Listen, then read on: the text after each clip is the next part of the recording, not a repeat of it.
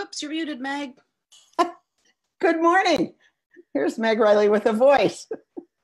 In Minneapolis, where spring is coming through, kind of like my voice on mute, but it's gonna come. I know it is. There's mud season is here, so that means spring is coming next. Uh, and here we are today with special guests we'll get to in a minute. But meanwhile, Dawn Fortune, how are you? I am well. Um, spring is threatening here. I have crocuses. Yes, we talked about this last week. I have other little white flowers. I'm not sure what they are, but they're in my yard. Uh, the rabbits are making an appearance, and my dog is ignoring them. I think they've worked out some sort of mutual deal where one does not harass the other. Um, but things are good, and our pride flag has managed to stay up for another five days. So we're calling that a win here in South Jersey. Uh, Michael, how are you today? I am doing just fine. It is also spring here in Peekskill, New York, and um, you need one of those signs that says it has been this many days since the pride flag was stolen, right? Um, I feel like that sometimes with our Black Lives Matter banner here in Mount Kisco. Um, I'm doing okay. I've got a little sore throat, so you might hear a little less for me this this morning, but but life is good. I am uh, fresh off of an entire day yesterday at the Pride Works for Youth conference, which is um, a conference here in Westchester County for LGBTQIA plus youth and their adult advisors and allies. And there were um, almost 600 youth at this conference yesterday. And let me tell you how much 600 queer youth, like in a queer space, being their queer selves, um, gives me life. Um, so I'm just like, I'm still kind of floating from that. And uh, it's good. Christina, how are you this morning? Let's see if I can unmute. I'm well. I'm doing well. Thank you so much. Uh, Christina Rivera, I'm joining you from Charlottesville, Virginia, where it is raining, raining, raining, raining to welcome in spring. We're very excited. And um, yeah, just super, super happy to be here with y'all. Jessica, how are you doing? Early morning, Jessica. Listen, I'm I, I'm here for Margalie, who's in class at Meadville, and I'm trying to remember how this all goes. And there's some weird thing happening here, like called sunshine. I don't know. We're not. I, it's very strange. It's 8 a.m. There's sunshine. I'll I'll I will be on the chat here, moving your questions along to our hosts and our guests. I'm so excited that my buddy Andrée is here, and um, yeah, and Dawn, you as well, and myself. I'm glad to be here. That's great. And you'll be on Twitter and all of that stuff too? All of that stuff. Okay. Hashtag the VUU. Hashtag the VUU. Um, I wanted to mention that Aisha Hauser is on a college tour. That's been a theme for Christine and Aisha this year and uh, unable to be online. And so we wish her well. Also, a shout out to everyone who's in search. This is the time of waiting when all of the pre candidating is over and it's kind of like knowing spring is coming here in Minnesota. You know it's going to happen, but every day seems very, very, very long and cold. So shout out to everybody, uh, particularly people of color, trans people, non- gender nonconforming people, people taking particular risks in search. Our love is with you. Our love is with the congregations. May they be who they can be and may they uh, really live out Unitarian Universalism. We are excited today. Well, Christina, before we get to our special guest, you were at Finding Our Way Home, and next week we'll be spending the hour talking about that. But anything you want to just say quickly? Um, yeah, it was wonderful. I called my husband from Finding Our Way Home and said I wasn't coming home until the weather in Virginia matched the weather in Miami. And so to you know, I could do the co-parenting thing from distance but no, I came home and I got the rain. Um, but I would just say, yeah, I'm really looking forward to talking about it more in depth next week. Um, a shout out to all of our UU congregations and communities and networks that had folks who went to Finding Our Way Home. Please be gentle with us on our reentry. I mean, it'd be awesome if you could like be super supportive all year long. Um, but particularly when we are coming back from just having such affirming, um, really nurturing space. Um, to come back into you know our primarily um, all white congregations can be um, challenging. And so, if you could be super extra supportive of your religious professionals of color that are serving Unitarian Universalism, they're not serving you. Um, that would be super awesome. Like, you know, leave them some chocolates or, um, you know, a note on their desk saying how much, how happy you are that they're back and you hope they had a really great time. Like, really, um, you know, see what you can do. You, you can think outside of the box and, and come up with something um, that really uh, nurtures and affirms uh, those those folks in your orbit.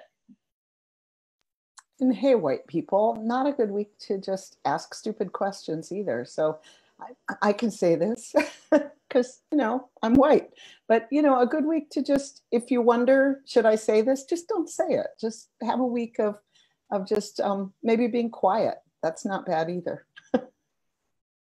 So I'm really excited to, to welcome our special guest today, Reverend Andrée Mol, who's a developmental assistant minister right now at First UU Society of Burlington, Vermont, where right now it is very cold and muddy. I'm willing to bet you're in mud season like we are. Andrée is also a member of the TRUUsT Steering Committee.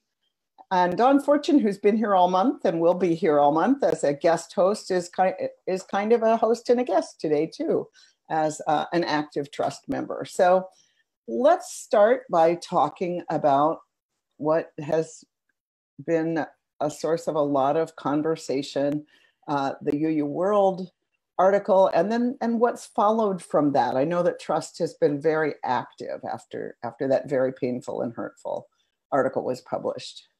Andrée, welcome. Thank you. It's so good to be here. Um, yeah, so let's definitely talk a little bit about about the article. Um, I think so many of us have been busy both on the TRUUsT steering committee and many of the members of TRUUsT. Um, for those of you that aren't totally familiar with TRUUsT, we're a religious professional organization of trans UUs, and so we it's very broad in terms of its membership. So it's not just ordained ministers. We have seminarians, we have lay community ministers, administrators religious education professionals. Um, so a lot of us found ourselves in the place of being the people that needed to respond to this article and often getting a lot of questions in our congregations about, well, what does this mean? Or why are people upset? I don't get it. Um, so it's definitely been an exhausting couple of weeks for, for many of us. So I know that the steering committee has met with um, the world, uh, with Chris Walton. I don't know if other people at the world as well, but um, I, have heard very positive things about TRUUsT's um, requests, and um, which which were not new. They were actually made before the article came out, which was part of what was so painful about it. Not from all of TRUUsT, but from somebody who knew something. So, what do you feel like has been accomplished through the meetings and conversations, and how do you feel now about it? Well, I think it's still early days to kind of say what the accomplishments are. I, we were very deliberate in coming forward and having restorative asks to say, you know, how can we address the harm that's been caused and change the way that we move forward and create a very different relationship not only for us in TRUUsT and trans UUs with UU World, but all marginalized folks within Unitarian Universalism with, with UU World. So those are the conversations we've started. Um, so it hasn't just been about the article.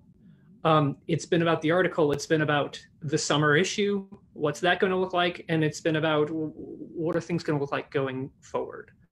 Um, so yeah, just the early conversations so far, which have been really positive and receptive. There's been a lot of listening, a lot of open to uh, the ideas that we're putting forward and, and, action on that. So I think that's really positive. Um, but this is, is going to take time. Dawn, you want to add anything there? Um, I'm just thinking that this is this is one of the reasons I'm so glad that Andrée is on the steering committee and I'm not. Um, because I I just don't have the patience for that sort of long range, deliberate uh, progress. For like, I just, I just like burn it down. Let's let's come on, let's go. You know, start over. Um, and and I know that my feelings are legitimate and my thoughts are real, and that Andrée's going to get a whole lot more done than I will.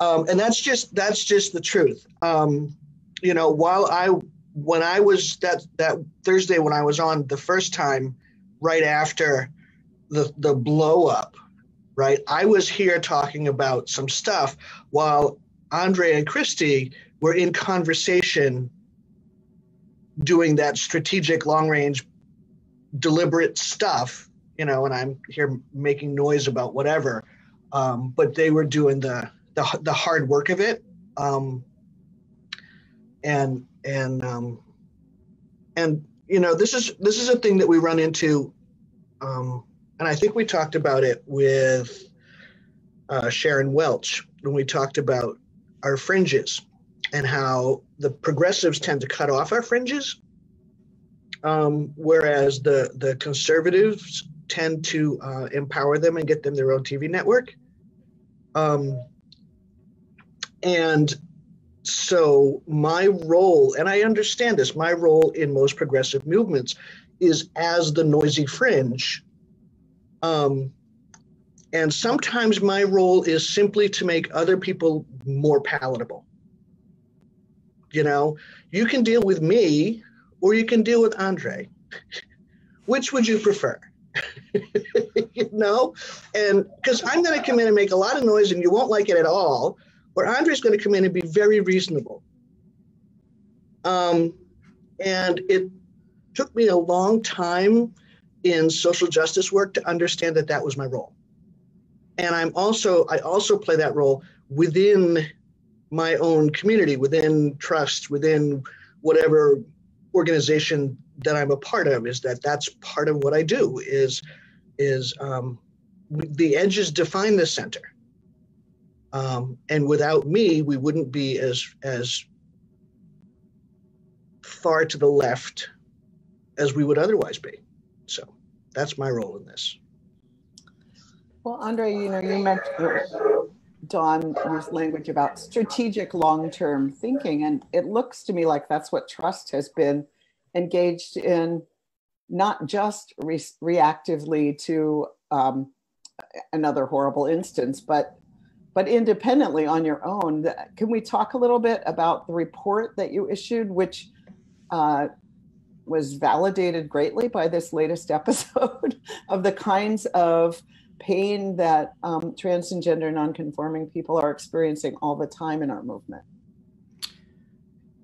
Yeah, yeah, definitely we can. I, one thing I want to want to mention before directly answering that question is um, I'm definitely not the TRUUsT steering committee. We've got five members on the TRUUsT steering committee. Um, so thank you, Dawn, for all those kind words. But um, there's definitely a, a, number of us doing this work and having these conversations. But um, we're a newly elected steering committee that just got elected at the last TRUUsT retreat at the end of January. So um, a couple of our members were jumping right in uh, with all of this. And yeah, before this article hit, our, our focus was really um, spreading the word on this report that we had done in conjunction with the UUA um, Multicultural Ministries Office uh, back in 2018. And what we did is we we went out to all UU congregations um, and asked for trans UUs to answer the survey, giving us information on their experiences as trans UUs. Um, and we got um, well over 200 responses back and compiled all that into a report, which you can find on the TRUUsT website. Um, and actually, there's some information on it linked and, and mentioned uh, in the same UU World issue, but um, unfortunately got overshadowed uh, by the other article.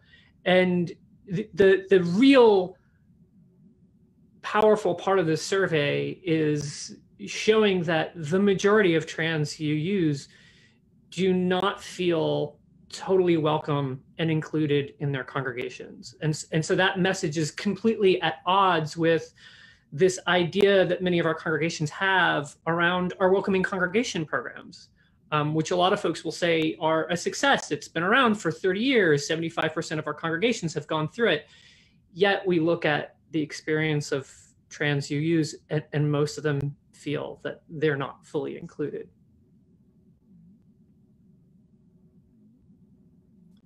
Yeah, they they feel more than that they're not fully included. As I read it, they're experiencing microaggressions uh, pretty regularly, and um, ignorance, the type of which was just printed in that article, uh, just uh, misinformation and you know, it felt like the article really confirmed the report in a very visible way.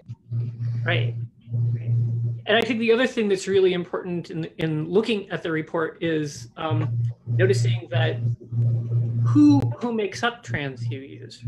Trans UUs are more likely to be low income, disabled, LGBTQ, racially diverse than the average UU population. And when we looked at the survey responses for individuals holding multiple identities, they're more likely to have experienced all of these microaggressions and feel less included by their congregation. So, so to us, looking at that as TRUUsT, we, we're seeing that means the answer to this is you can't. There's no one size fix. We've got to look at intersectionality and what this means in our congregations. And clearly, we're not the only ones saying that, um, but that's that's a big thing that we've taken away from the report. Yeah, BLUU issued a, a really powerful statement in the wake of the World article about intersectionality, and yeah, and so it the the group of who makes up TRUUsT has really grown. I mean, let's shout out to Barb and Sean, Barb Greve and Sean Dennison, who really began TRUUsT and for a while became TRUUsT just so it wasn't just Barb and Sean. And um, and now it's how many members and and how how big was the retreat? Yeah, we have over 60 members, um, which is awesome. And that's a rapid growth just over the last two to three years.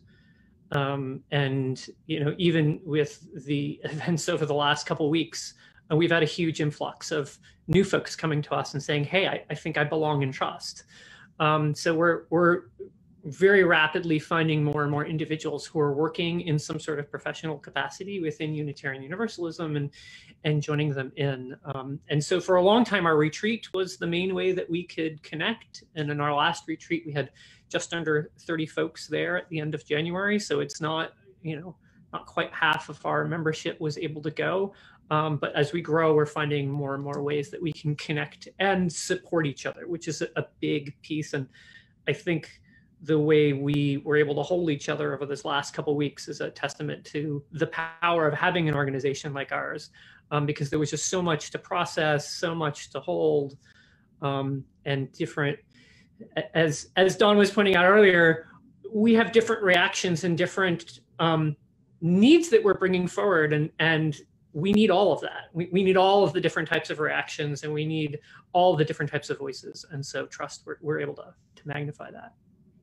And I think that's super important to point out because, um, you know, as Dawn was talking about their role, um, I think that works when there is there the folks that you are pushing towards, you know, the people to work with have those same are holding those same values and same goals and same um, wants and needs in a different way because too often we see you know in our social justice um, world people who are you know what are termed at the radical fringes that that the institutions don't want to deal with and so they're dealing with other people that may not necessarily still hold those same values and um, and, and goals. And so that that that dichotomy only works when everybody at that table or everybody who's involved in that conversation has those same goals. As otherwise, you have folks on the edge who are just continually shouting um, and nobody's listening to and um, and and they're burning themselves out right um, and that is a real danger of uh, you know of getting towards respectability politics or respectability um, that that we don't want to center.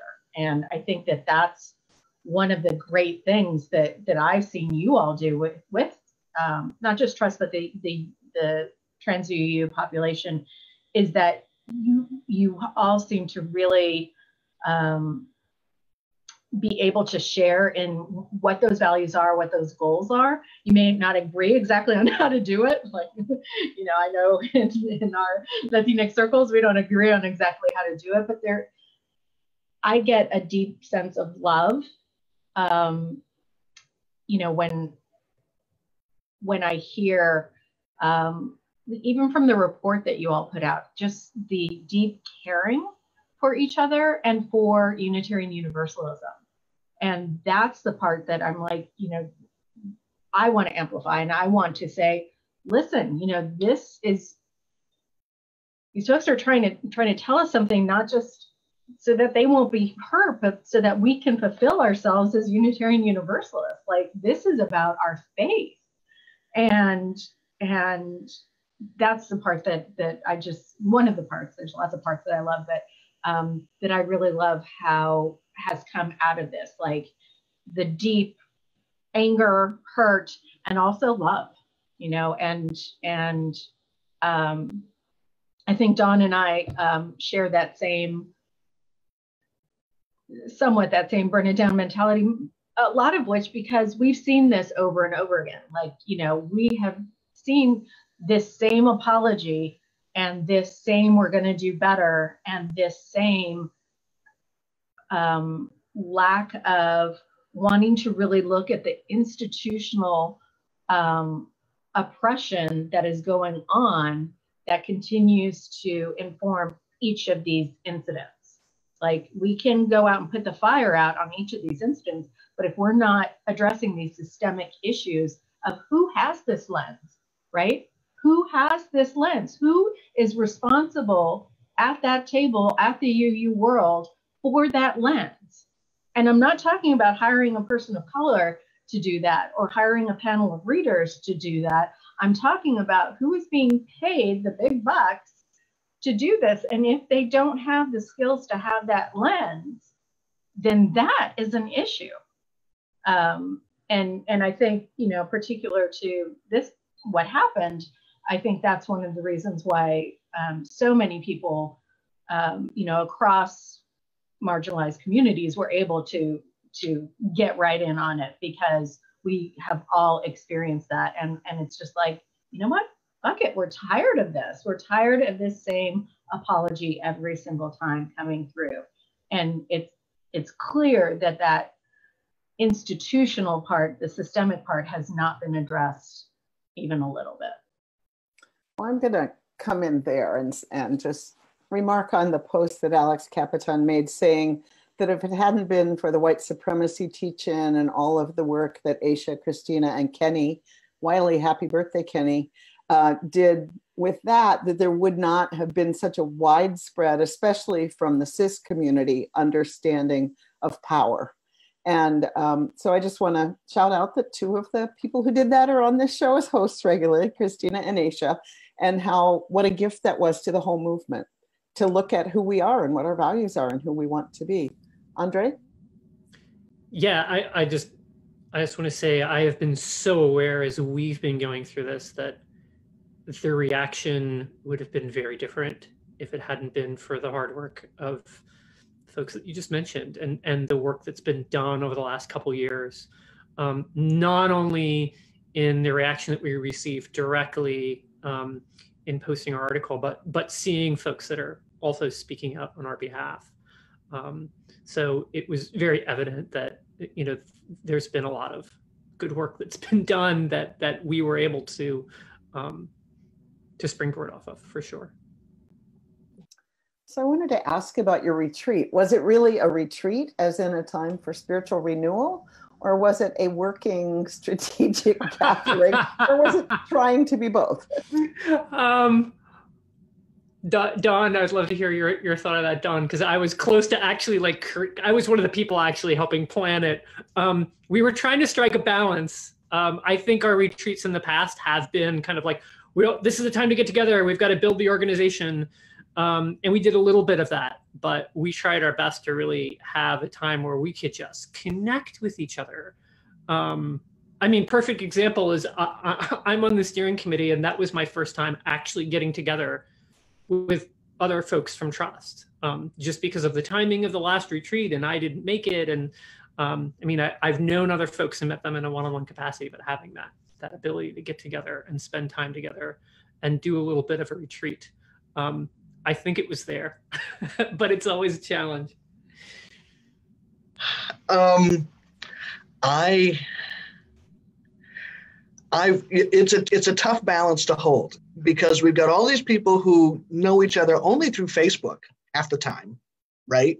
You know, so there's that whole like, wow, your voice doesn't sound like I thought it would, and you're taller, and huh.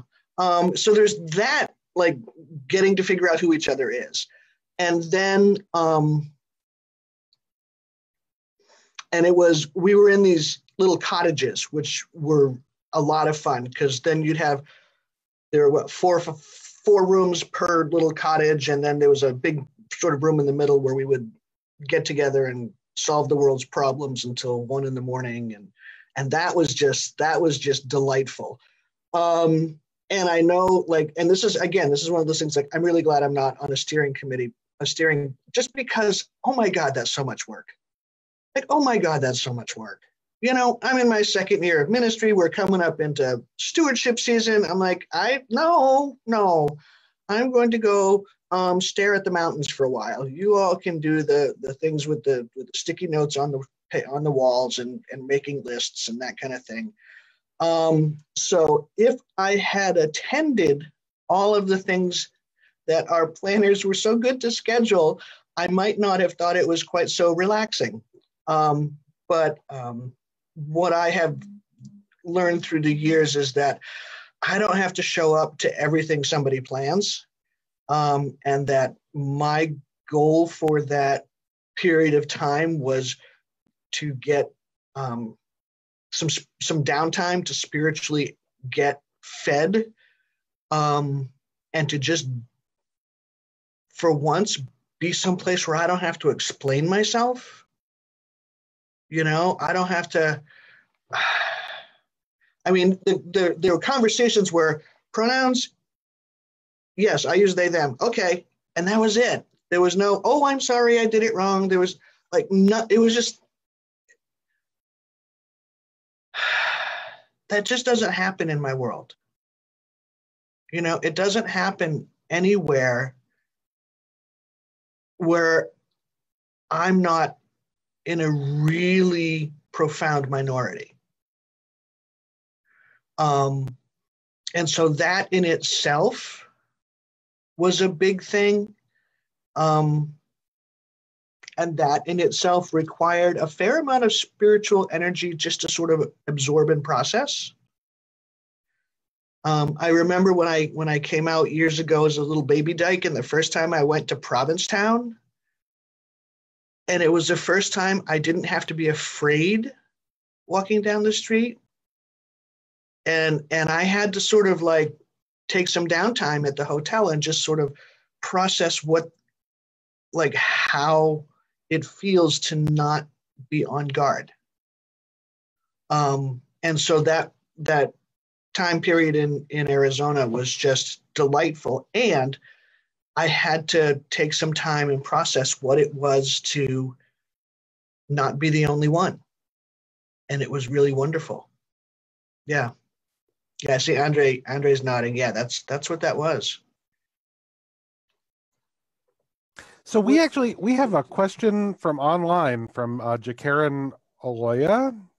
Oloya uh, who writes, um, I am interested in hearing your thoughts on willful disobedience and forgiveness.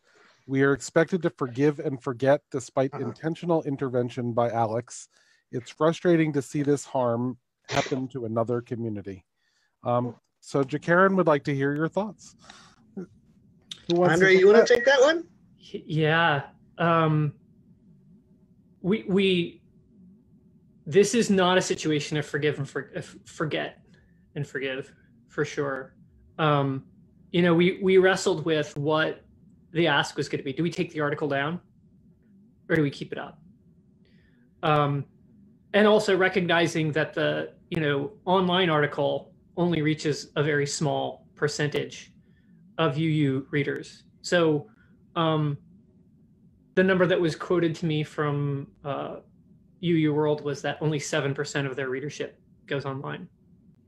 So that means that that hard copy article, even with all this conversation over the last couple week, weeks, is still out there, just the article without the context. So we were very clear that if a, an apology was going to be published, it needed to be hard coded into the article because we knew, and the much of us were looking at how many folks were sharing the things we were creating and the apologies versus the actual article. And many of us were still seeing a lot of UUs just posting the article. Um, so we needed to make sure that apology was right there and up front. Um, and and yeah, it's not forgive and forget for for all the things Christina was saying earlier. Like if we forgive and forget, it's it's not nothing's changing. Um, if we don't keep pushing, um, it's definitely not going to change.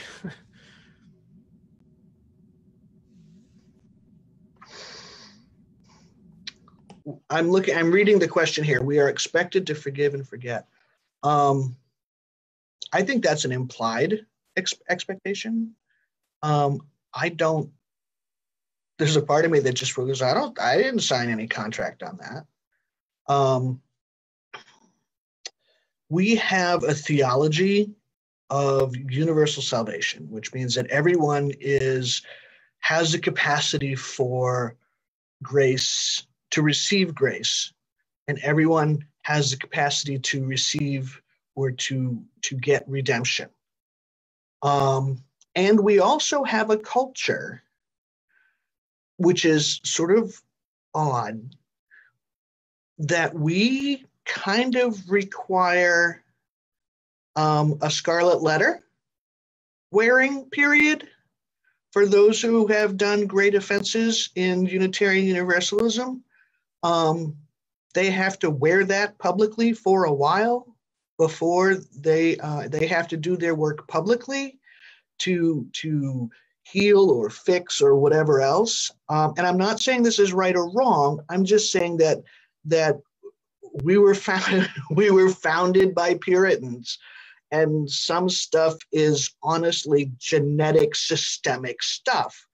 And so we talk about universal salvation, but we also talk about atonement and restorative justice and what does that look like? And so it's it's not as simple as forgive and forget. I think forgive and forget is a very polite way to spell gaslighting. Um, which is to deny that the harm ever happened. Um, so, um, and that's not, you know, compassion without justice is sentimentality. And justice without compassion is brutality. And so, what we have to do is find a balance between the two, but a balance that also um, leans toward extra stuff for the historically marginalized population, right? Um,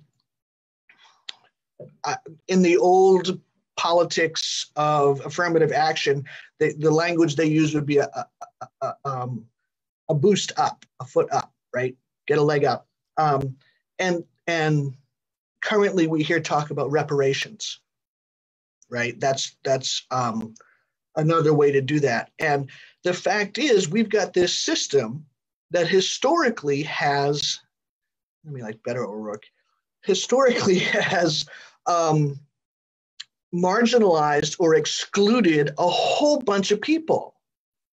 And so we're trying to turn a battleship that has been exclusive for a bazillion years and first off, we're trying to turn the battleship, which isn't going to be easy. And we have to make reparations for the damage done, which is going to be just turning the ship is going to involve resistance.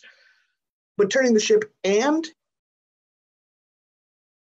giving reparations or awarding reparations, because they're not given by any stretch, okay? Um, that's gonna that's gonna instigate more resistance. So we have to look at this like Christina was saying, like Andrée was saying, this is this is about a systemic thing.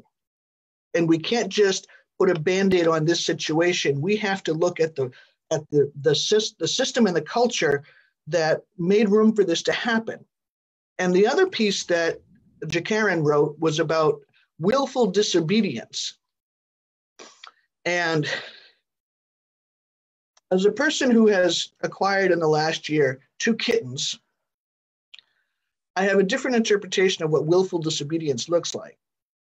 Um, and sometimes what I view as willful disobedience is somebody else's commitment to doing the right thing. Right? When I was an editor at a newspaper, we had rules that we had to follow. And the editor, and there's a thing that happens with editors is that we, we, we know what we're doing and, and nobody else knows what we're doing. And we get into that headset, that mindset, and sometimes we're not able to listen and hear what other people are telling us. Um, and so willful disobedience makes it hurt more, makes it hurt more, you know? I told you not to do this because it would hurt, and you did it anyway. And now you're surprised that it hurt. So we've got a lot to unpack there. But, so I was wondering, thought. I was wondering if you had a response to Jacaren's question. And Andrée looks like you have more to say too, but I think this is fruitful ground.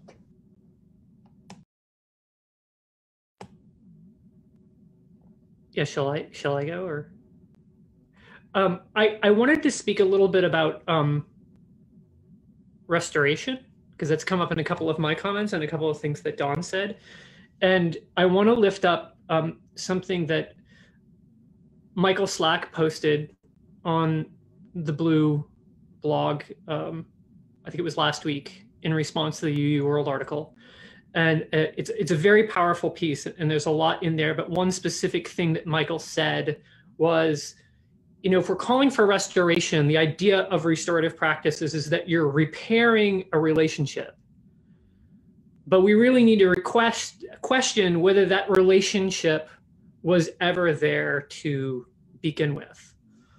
Um, and and and that's a big piece of this because if we're just restoring the relationship it's kind of going back to where we were even if there was a relationship and that's not what we're saying. We're we're radically shifting so one example is just to, to bring it to a specific example of this UU World article is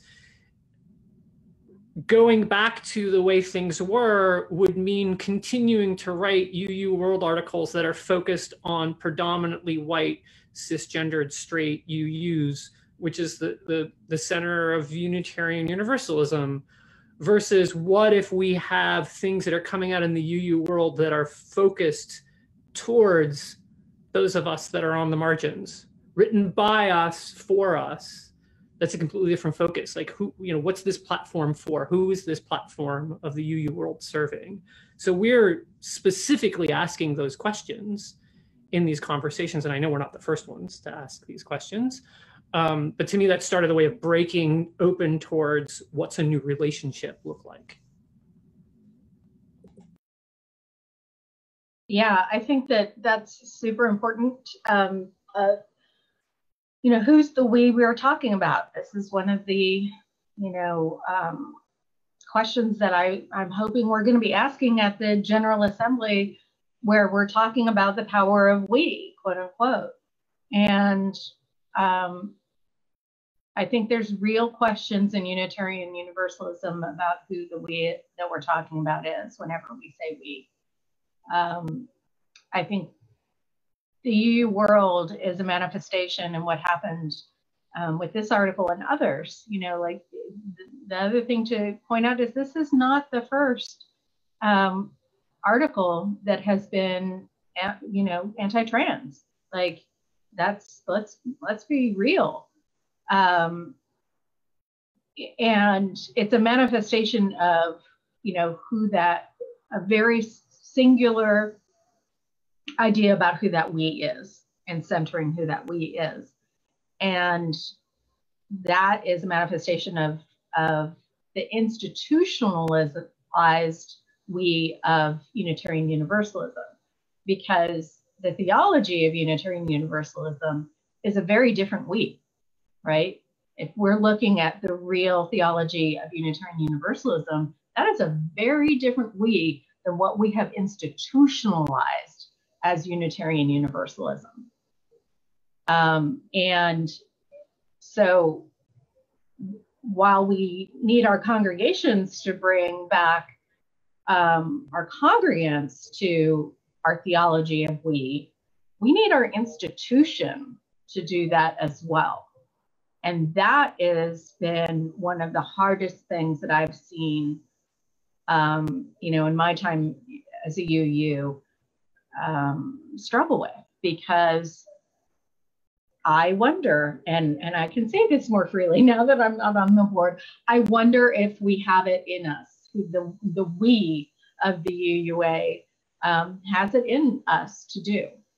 Um, because, and the reason I wonder about that is because the lack of um, desire or desire put into action to actually dismantle it at the institutional level.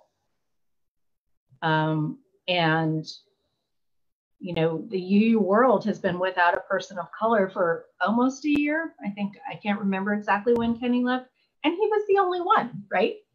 Um, what, where, where is, you know, what does that say? I think it says a lot. You know, I think, you know, we the current administration of the UUA has is going on you know two years this coming GA, and I think it's reasonable to ask what is this dismantling of the institutionalized we look like um, as we're talking about the power of we. Um,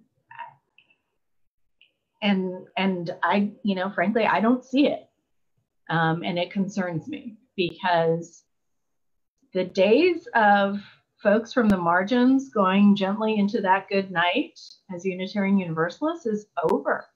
It's over. And so, you know, that being the case, um, there's, you know, there, there comes a reckoning where, um, where our institutions have to take responsibility for either having the skills to do the work or not. And, and there's no shame in saying we are not equipped to do this. You know, we need help doing this. We do not know how to do this. And then revising the resources in order to get it done, right? There's no shame in that. That's, that's, you know, there's, I go all the time to people and say, I don't know how to do this help me figure this out. Um, and and then pay them for that time and then pay them for that effort you know there it was a lot of emotional um, labor and physical you know and and and intellectual labor that went into all of these responses that were needed for something that somebody was told not to do in the first place right we have you know, Mid America doing an intersectionalities regional assembly with no basis of Kimberlé Crenshaw's work. And, you know, it, having been told by somebody, hey, this isn't a good idea. You know, we have the UU World who produced an entire episode about or issue about um, the GA worships from last GA and completely left out the first bilingual worship service done by a group of Latinx UUs. You know, com- just complete erasure. So it's not that we're saying we need to fix each one of these things that is happening. We're saying, where is that institutional um, desire and action to change it. And if people are not equipped to do it, then we need to change that. We need to change it. And we need to change it, you know, not in years, um, not in years' time. You know, it, our the patience of people from the margins and Unitarian Universalism for a change is wearing thin, and it has been wearing thin. Like we've had been having this same conversation for decades. You know, you can go to Mark Hicks, and you can go to, um, you know, other UU theologians who study. Um, I'm forgetting the other Mark's name right now. Just like um, Mark Morrison, Morrison Reed. Reed. And you know, you can study the history of this, and nothing that we are experiencing is new. And so, if it's not new, then something in the institution is maintaining that that status quo. And and that's what needs to change. Mm. Yeah, I, I and the the difficult thing is, and having done um, a little bit of um, interim work is that if everybody in this system is not on board, whatever work that 85 or 90% of the system does can be undone by 10% who didn't want to do it. And um, one of the things that I talk about, I've, I've, I've talked about before with congregations that are looking to do transformative work or to do radical healing from some trauma or dysfunction or whatever is I cite this utterly ridiculous source, which was a 1939 movie short by the Three Stooges, um, which is, you know, a horrible example. TV show. I, I'm going to agree with you. a TV show. But what happens in this thing is that I think it's whichever one's bald, Curly, I guess, backs into a, a saguaro cactus, and his brothers have to get the get the tines out of him. And so one brother, I mean, it's it's the, the Three Stooges, so it's slapstick, has this enormous pair of pliers, and he's pulling them out one at a time. And every time he pulls one out, Curly yells. And the other brother has this enormous pair of kitchen shears, and he's just cutting them off. And one brother says to him, "What are you doing? Like, like why are you taking him out like that? You do this, it looks, look, he's all better already. You know, and that's the work of of healing this kind of trauma is that yeah, you can cut them off. But they're gonna, unless you pull them out, which is gonna be painful, and unless you pull them out and get some alcohol in there and clean that out and get uh, kill the germs and kill the infection, unless you do that, you're never going to dance again. That's the nature of the work. Well, and my image for this is as a gardener that the weeds that grow in a big patch of weeds are super easy to pull out. The weeds that are really hard are the ones growing in the middle of my peonies because I love those peonies. I adore those peonies. And so I do end up being the one who cuts them off and then the weed's still there. And, you know, because I have to say, I need to let go of this peony, this beautiful flower that I love. And I think that's part of what Unitarian Universalists are looking at. Oh, this this hymn is actually oppressive, but I love this hymn. Oh, this, you know, that we have to, those of us who are privileged have to let go of some things that we love. And we're not used to having to let go of things if we're privileged.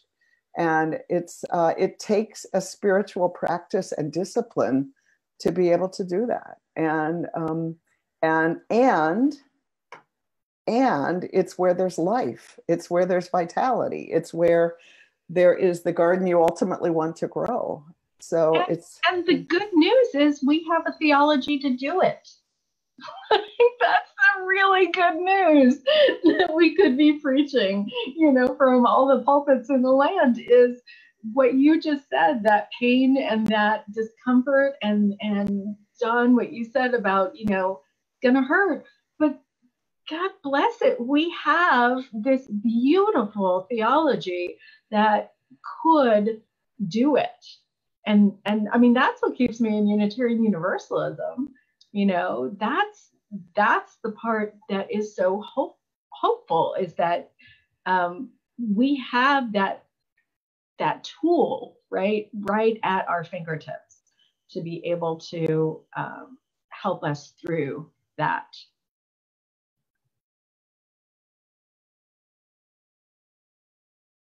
But going back to to Karen's question, even um, there has to be institutional accountability for this work in some way. And you know, I think Meg, not to belabor your metaphor, but you don't have to throw the peony away, right? You have to dig it up, you, and you have to spend hours and hours and hours digging carefully digging it up and teasing out the weed and caring for the the peony rhizome or whatever whatever it is and then and and and taking out the harmful things and replanting it. And if you don't have those hours and hours and hours um it's easier just to to toss it in the trash and and start over. But um you know we can't toss things in the trash. That's fair but, but, there are things so, that should be ta- ta- trashed you know yes, and uh, including things that we love. And i have dug up my peonies and the weeds are mighty little things. They are very mighty little things you know I mean, and I, I, think about oppression a lot in the garden because of all the different ways that weeds come in and come out. And it's, you know, it's my main spiritual teacher, the earth. But anyway, we're not talking about me and my spiritual practice, are we? Oh, yeah, it's not about me. I forgot again. Okay, so. but, but, yes. but I'm just thinking that, that, you know, part of this gaslighting, part of this forgive pressure to forgive and forget comes from the white supremacy culture, the cis supremacy culture, the patriarchal culture, the kyriarchal culture, whatever you want to call it, that's at the center um, of who we are. And until um, the folks who, you know, Christina, you were very clear that that folks are are not forgetting, right? We're, we're you know, folks are done. Um, and until you know the folks that have those of us who have some measure of privilege are also done um we're going to keep causing pain. And I'll I'll use we to mean those of us who have some measure of privilege. Um, so it's uh, and and not to say that I, I don't want to absent myself from the you know accept myself from the from the the forces of of privilege that are that are centering you know so, Andrée, I'm, I'm realizing, oh my gosh, we have five minutes left. What do you want us to know about TRUUsT and what TRUUsT is doing and, and what, what you're hoping we'll do to support what TRUUsT is doing, those of us who aren't part of TRUUsT?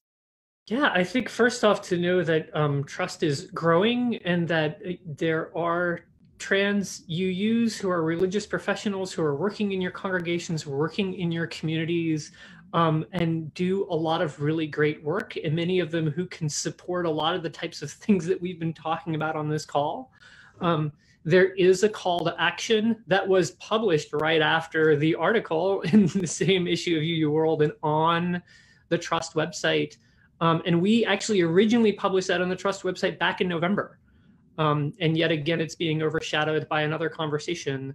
Um, so take a look at that and and take action and that involves you know funding organizations like TRUUsT um, hiring trans religious professionals within your congregation and there's a list of them that you can see on the TRUUsT website. Um, signing up to be an ally um, doing things within your congregation to educate yourselves and to make these shifts. So those are the things that um, TRUUsT has been calling for. So take a look at that. Um, and, and the other thing that, that I can't say um, loudly enough is if you haven't read the article and you're cisgendered UU, um, read it and read all the context around it um, to understand it. That's part of supporting TRUUsT and it's part of supporting uh, trans UUs. Um, I've had so many people say to me, well, I just don't read UU World or I didn't read the article. Um, and you need to be in this conversation. You need to read it. You need to read everything folks have published around it. Um, the Commission on Institutional Change has put a blog post up that has a list of almost everything that, that people have posted around this. Um, so that's where you can get a lot of that context. And something um, that was really helpful for us at the congregational level is somebody in the AUUA, which is the administrators uh, professional group.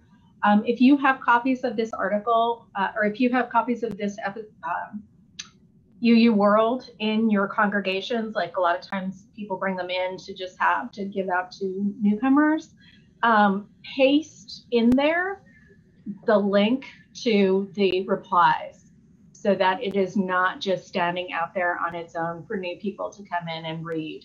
Um, that that is you know anywhere you see this um, particular um, copy of the UU World, please paste in there. You know, you can do a, a quick link to you know the commission's work, to TRUUsT, and wherever, but somehow, some way, have in there um, that there is more to this story.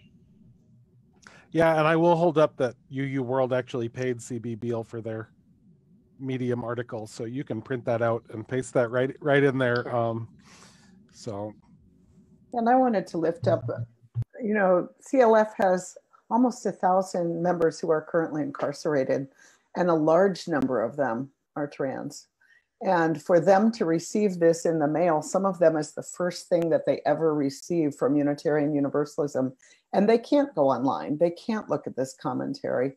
So I wanted to mention that we've been in contact with Chris Walton at the World, and, and they are helping us to do a mailing to all of the incarcerated members to, to share in print some of these resources to say, um, wait a minute, that's not that's not Unitarian Universalism as we understand it, um, and to to let them know that they really are welcomed to uh, CLF. So I'm um, that that was particularly the pain for us is that these are people and there are people who receive the world who don't come to bricks and mortar congregations who don't go online and and those are the people that that it's really hard to figure out um, how to repair but but i'm happy to say that that kind of repairing is going on with our membership.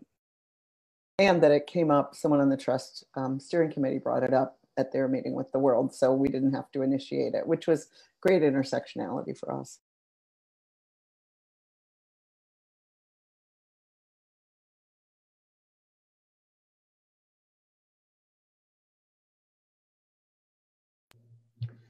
Um, for what it's worth, my congregation, like I, I feel like every time I'm on here, I say my congregation is special. They're so awesome.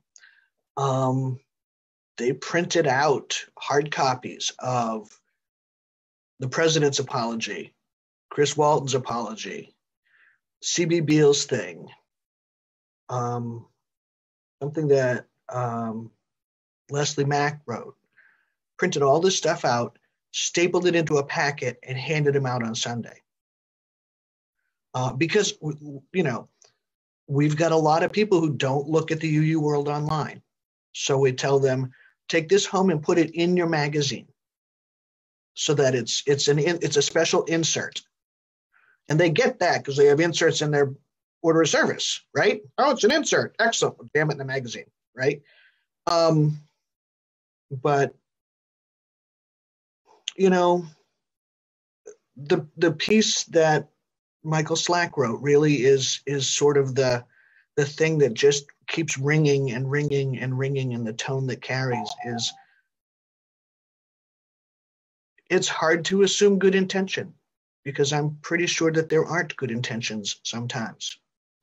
And how do you repair a relationship that was toxic to begin with? You don't want to reestablish that.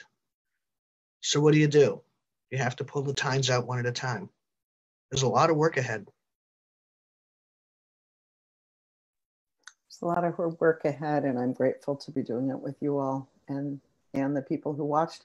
We'll give CB Beal the last word because uh, CB Beal printed on something on the that I just want to share for people listening to this who didn't read it. I was compensated for permission to put a link to my Medium piece on the UUA website in conjunction with the apology. That's not related to permission to print, which I just give anyone in congregations.